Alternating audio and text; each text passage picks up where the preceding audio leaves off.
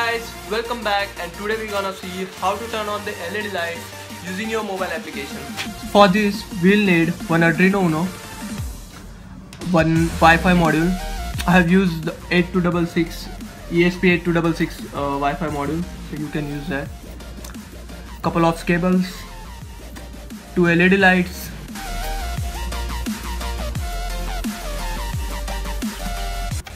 two resistors one capacitor.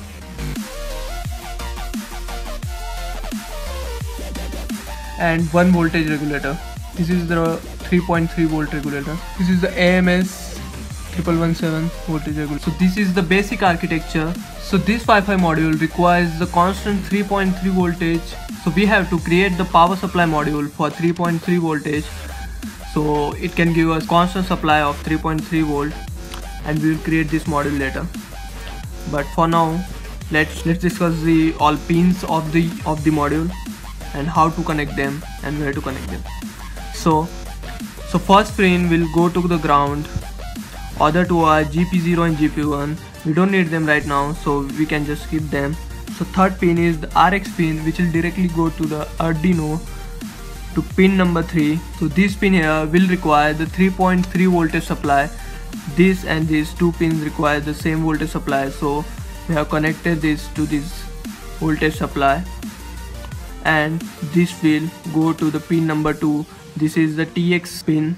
And LEDs will be connected to the Arduino on any pins you want but uh, yeah we will see it later. So let's create the power supply module first. So this is the front side of the voltage regulator. This is the 5 volt input this is 3.3 volt output and this is the ground. You have to connect this capacitor with the voltage regulator along with the long one this one. You have to connect this with the 3.3 output and this one will go to the ground. So like this.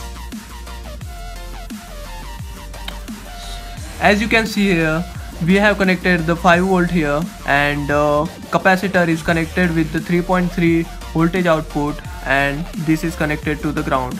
This module will generate the constant 3.3 voltage supply which we will need for the Wi-Fi module.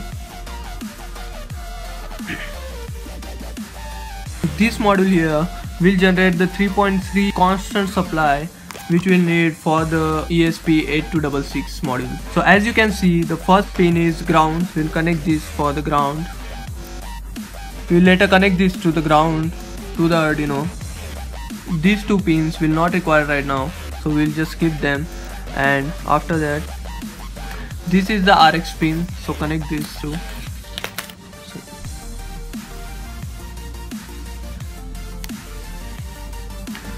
so this will go to the pin number 3 on the Arduino.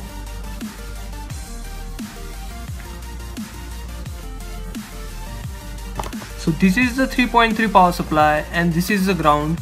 So we have connected the ground pin right here.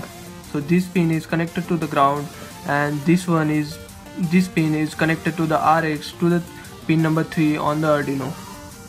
So let's connect the next pin which is this and this. So these two pins will go to the 3.3 power supply module. So this is here. So this one is this one here. Let's connect this. Hmm. and this will go here. And next pin is this one right here. So this is first second and third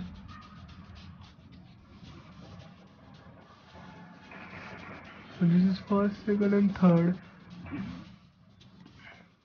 This will also go to the 3.3 power supply. Right here.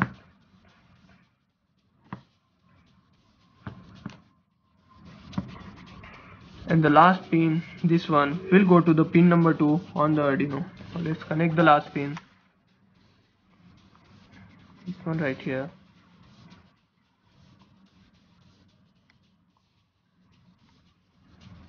and this will go to the pin number 2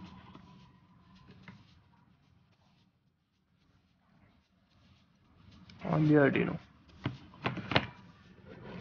So we have two LED lights which will be connected to the pin number 6 and 7. You can connect on any one but uh, I have selected the 6 and 7 so let's connect. So small one so this one will go to the ground and this one will go to the pin number 6 or 7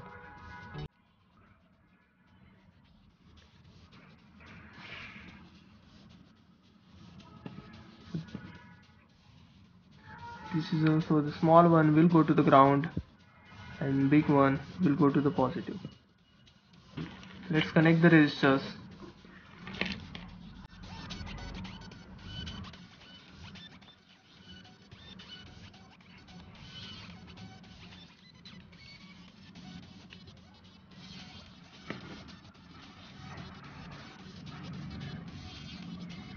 So let's connect these two pin number 7 and these two pin number 6.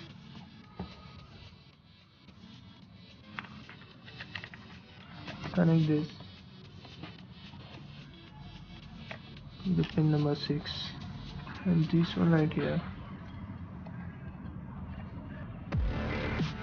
The pin number 7 so six, so this one with 7 and this one pin on pin 6 so after this let's connect the power supply module to our breadboard.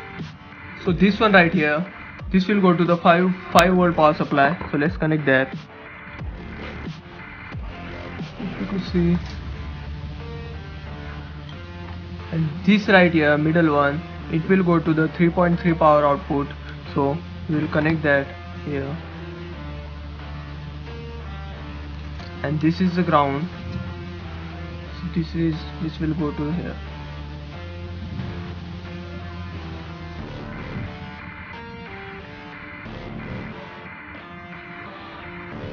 So now connect the last ground pin to the breadboard and we are good to go. So this will so here is the ground pin and this will directly go here now we are done with the connection let's see the iphone application part. So this is uh, pin number 2 and 3 this is the tx and this is the rx pin. These are the at commands. So i written the one method for that to run the at commands. I don't know what is wrong with my mouse. So this is the method which will run the at command and you can find the link in the description. So i uploaded the code there so this is a simple code. From the app you have to send the pin equal to and the pin number. So this will read the character after the equal to sign. And this will it will toggle the every time like you if you if you send it here like 7 then it will read the character 7 and uh, it will light up the 7th or toggle or we can say toggle the 7th pin so you have to select the USB model. Make sure you have selected that because sometimes it may take time to automatically get select and you have you can see a serial monitor. So here is our server on 192.168.4.1 it is sorry. So this is our server so we have to hit this. So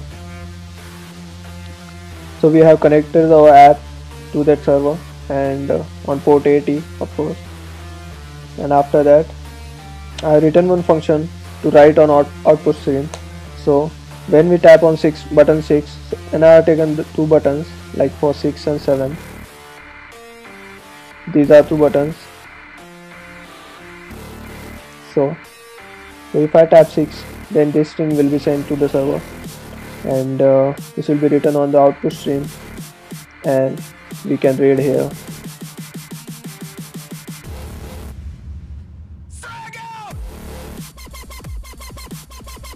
Yeah. We'll read here. Like uh, we'll find a first pin equal to 6 so we'll go till this. And then after that it will read this character 6 this will read character 6 so that's it and 6 will will write to the 6 and which will toggle the pin. So to run this code on device you will need the developer account you cannot run without developer account. so I have connected the USB to my machine and also connected to my phone so now I'll run the Arduino code and the, after that I'll run the app code first of all just make sure that you are connected to the device and after that this is the application Arduino so just open it and you are ready to go. So you click on 6 and it all. And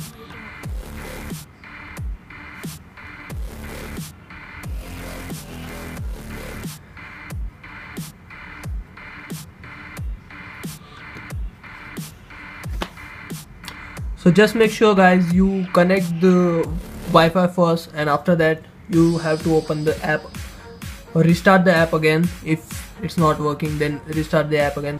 Thank you for watching guys. Comment down the questions if you have any and make sure you like the video and subscribe the channel. I'll see you next time